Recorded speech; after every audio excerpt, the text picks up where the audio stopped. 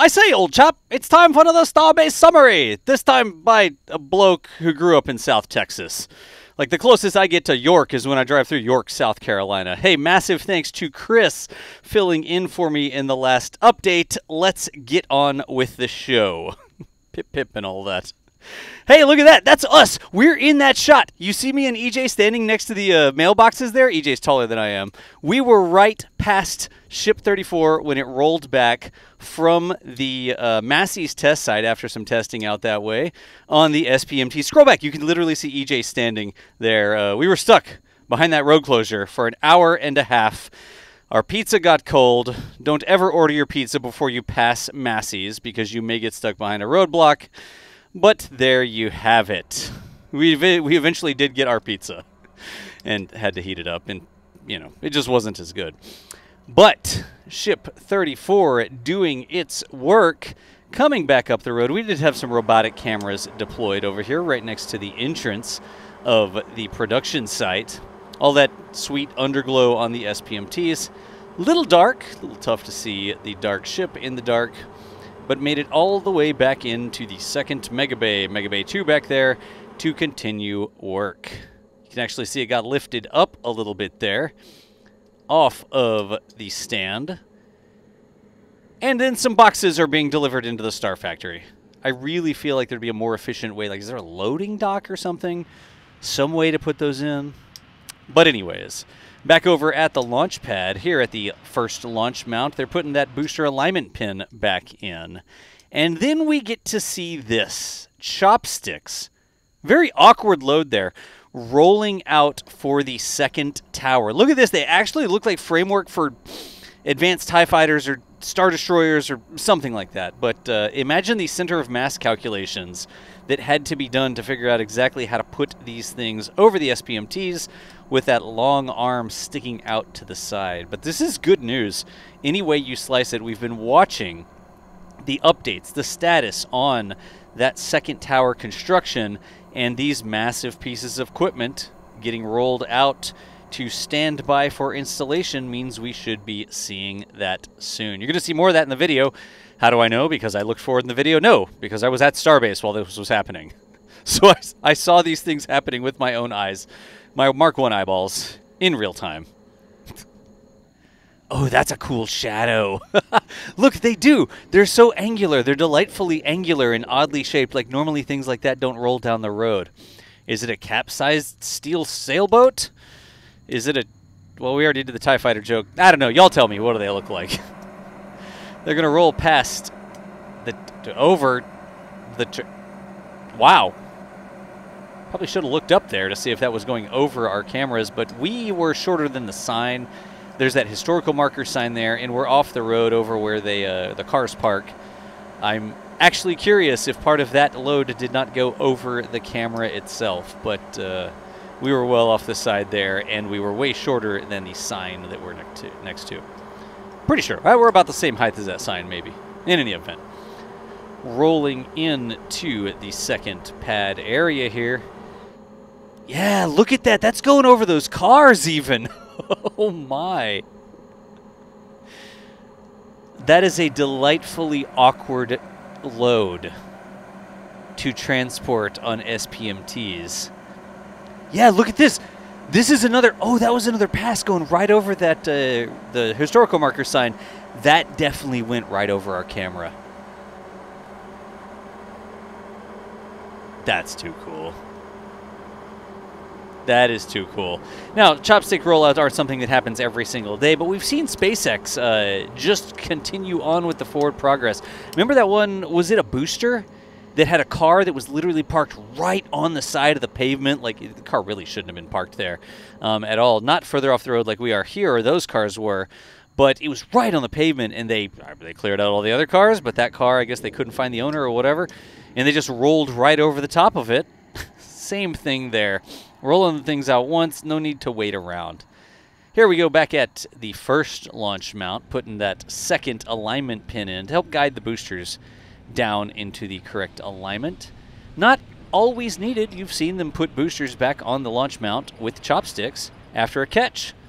So uh, that is, I think, a, a guide to help them get everything lined up for the first try. You saw a couple pieces of the jig getting installed there, and some chopstick skate installation happening. Those huge black metal uh, roller skates, they have like bearings, wheels in them that ride up and down those rails on the tower. Remember, it's almost like the chopsticks and carriage are like a koala bear that's roller skating down a eucalyptus tree. How, how like, straight are eucalyptus trees usually? I'd have to look that up. I don't know if I don't think that eucalyptus trees are like super crooked, so maybe the analogy doesn't really work. It's like a steel koala roller skating down a very straight eucalyptus tree. I'm I'm not going to apologize for that. Moving right along. Those big skates are what uh, keep the chopstick carriage on the tower rolling up and down, and you can actually see they have a little bit of positive contact there where they're in position. We've seen skates fall off the tower before come crashing down when not properly secured, but so far it looks like these were just fine. Very cool. There's the chopsticks hanging out near pad B. The shot coming from Mary over here. I guess they have done the majority of the main work on them and moved them all the way over here where they'll have to load up that, uh, like sling that load with the crane with the wacky center of mass and then assemble it all on those red jigs. Hey, perfect timing chopstick carriage, it says, oh, this is actually the chopstick carriage is the black part, and it's resting on the red assembly jig. The red part is just temporary structure while they work on putting these awkwardly sized and shaped and center of mass and supported loads up. You don't want them dangling from a crane constantly, right? But those red beams give you a nice uh, solid structure with which to integrate this entire system and put it all. To that is a very long bubble level. that I, I'm almost positive that that's a bubble level. It has all the marks of a bubble level. In any event, um, suddenly it's like squirrel, bubble level. Tools are shiny to me. Tell me I'm wrong. Here we've got some work going on over by the tank farm. You can see the tank farm there in the background. And we're going to quickly jump back to Pad B's launch mount. Deck support beams have been removed. Still has the scaffolding up around it. Remember, that was the big indicator that showed us when the carriage was going to roll out. We saw, I was out there, and I saw them removing the scaffolding from the carriage, and then it rolled out shortly after. So we're going to keep on watching the launch mount here, the second launch mount, with its delightfully water-filled, water channely, whatever, um, top plate there.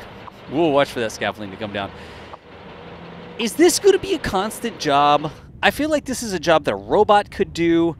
Were they just doing it for a photo shoot or something? Somebody's going to need to be out there every single day if they're trying to keep those windows clean. Trust us, we know because camera lenses. Got some more work happening on the flame deflector there. We just check in with it on occasion. And then going to hop back over to the OLM once more. Is it just me or is there more tarps on top of it here.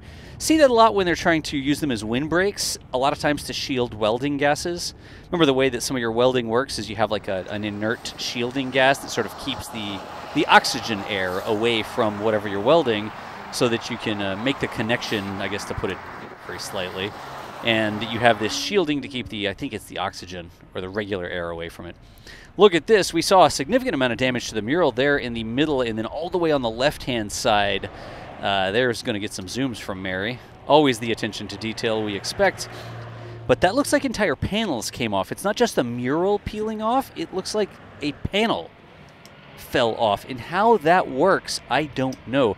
Typically, with large structures like this, you'll have blowout panels because you're going to have a wind blowing into one open end of the structure. And if you have something that's allowing that wind to sort of build up pressure inside the structure or against one side like that, you might get blowout like that. So you have pass throughs or redirects or something like that to let that structure alleviate the pressure maybe not something they planned for there, maybe something they'll learn their lesson on if that is in fact what was happening, panels blowing out to the side from internal pressure, not from external. But we'll see how they fix that. There's that second launch pad. Get a little bit of a pan across here. There, of course, the red temporary structures with the chopstick carriage on it, being attended by multiple cranes, and then the chopsticks in two pieces. I mean, two chopsticks. Like there is one chopstick that makes up a set of two chopsticks. if that makes sense. Anyways. We're going to continue watching this, and of course, if you want to keep up with what's happening in real time, all of this work is happening live on Starbase Live, our 24 7 coverage of what's happening at Starbase. You can actually just go to nsf.live slash starbase, or honestly, just type nsf.live and it'll show you all of our 24 7 streams. Maybe I should pin that comment or just put that in the comments or something like that. Remind me in the comments if I forget to do that when this video releases. It's just nsf.live, and it'll bring you to all of our 24 7 coverage so you can hang out and chat with like minded space nerds like yourself who apparently have nothing to do in the middle of the day or the middle of the night or whatever. Ah, uh, yes. Now, an important distinction here these chopsticks are a little bit shorter than the ori- original chopsticks. And a couple different things may go into that. Uh, the accuracy that they've been landing these boosters, like getting them right in between the sticks at a pretty close to the middle of the sticks, has been really impressive. So maybe they just don't need as big of a landing pad, so they don't need them to be as long. And then also, if you don't make them as long, they don't have as big as big of a moment of inertia, or I guess a moment that the momentum sort of builds up in as they swing. A shorter stick will be easier to get moving and stop when it reaches the target than a longer stick. That longer stick has a longer lever arm or moment to uh, to control. So a couple different changes to these new shorter chopsticks hopefully does not affect the catching of the ships or boosters. But folks, we are rapidly approaching a time where we see a booster caught on one tower and a ship caught on the other tower. I think they've got a couple launches that they need to get under their belt to prove that that ship in a new design is going to stick together and whatever mitigations on leaks or fires or explosions that hit them in the last flight um, are mitigated, I guess to use the exact same word I just said, for the next flight, but want to make sure that that breakup does not occur as it's coming back in over land for a catch on the second tower. I would not be surprised if we see a attempted ship catch in the first part of this year. Stay tuned. I like it. This just says Tower 2. It's Tower 2. Delightful number of bolts. You know, are those rivets or are they bolts? Y'all can correct me. I guess it depends on exactly how they're attached. But tex- Test Tank 16 rolling into the Star Factory. Also catching what we think is Booster 17's transfer tube. It's the long thing there. See, it's a little tough with the dust, but the long thing down there at the bottom. But folks, that's going to do it for this Starbase summary. Again, big thanks to Chris catching up for me last week. Remember, you can change the channel. You can change the audio tracks if you want to listen in Spanish or German, if that's your native language or you just want a good time. My name is John for NSF. Thanks to the entire team, and we will see you nerds later.